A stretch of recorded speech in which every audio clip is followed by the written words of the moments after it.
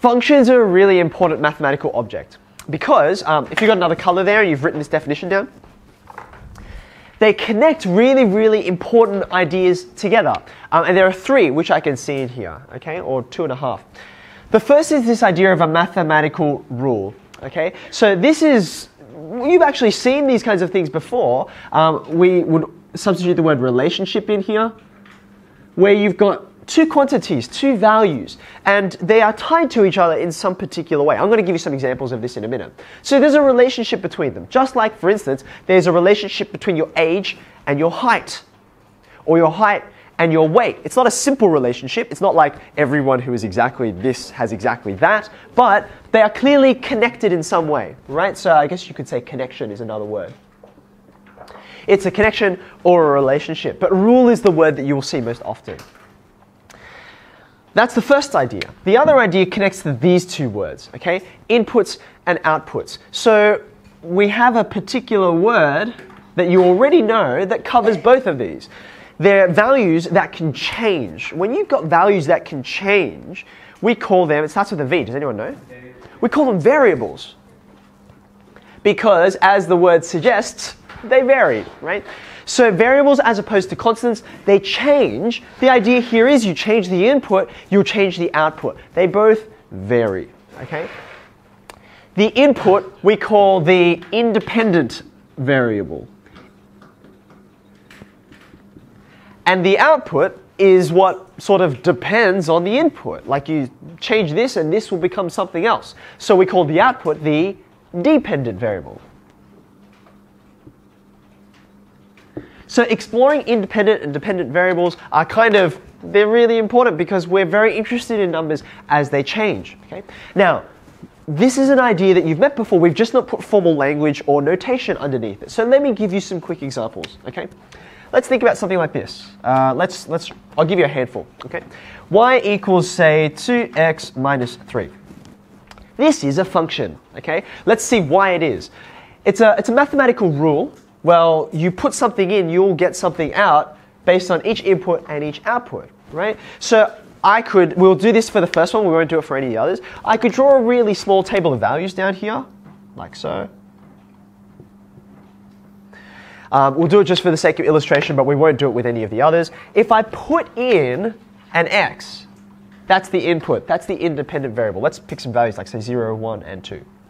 For each of those inputs, I will get an output, right? Uh, when x is 0, what's y? Negative 3. When x is 1, I'm going to get negative 1. And it looks like this one will be 1. Okay? So you can see each input gives you one output. No dramas, okay? This are the inputs, these are outputs. We know lots of other functions as well. Let me give you another example y equals x squared. We won't do the table of values for this one because um, you get what's going on and I think you can think of the numbers with me quite easily. If we do the same inputs, 0, 1, and 2, then what outputs will I get for 0, 1, and 2? 0 squared is 0, 1 squared is 1, and 2 squared is 4. So 0, 1, and 2 produce 0, 1, and 4. That's all fine. Okay? Now let me give you an example, and I'll put this in a different color. If you have a different color, that'd be great. Let me give you an example of something that is not a function. Okay, so this is not a function. Okay, noting that I always pretty much use x's as inputs and y's as outputs, let's think about this instead. Hmm. Now, this is still a mathematical rule. There is still a connection, a relationship between x and y here, just like there was in our previous two examples. Okay? But this isn't a function for a very particular reason. Give me an input. Give me an input.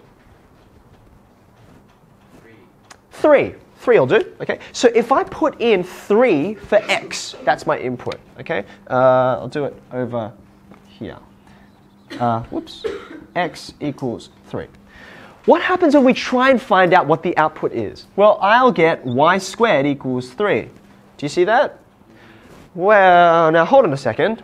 When I say what is the output, there isn't just one output, is there? There are actually two. There are two solutions. What are they? plus or minus root 3. Very good, we're switched on. Okay, so even though you get an output out of the inputs, you actually get several outputs, and that's not a function. I only want one. Okay, so that's why these guys are okay, but this guy's a dud. And there's actually quite a few things that you already know that are also duds. Here's another, oh, stay in orange. Here's another example of a not function. What's this shape? Do you recognize it yet? This is a circle. Can you see why it's not a function? Because if I put in an x value, uh, let's try x equals 0, right? Then what happens when I try and find out the output? Well, I'll get 0 plus y squared, which is just y squared, equals 1. And again, I'm like, oh, I have lots of outputs. I've got two.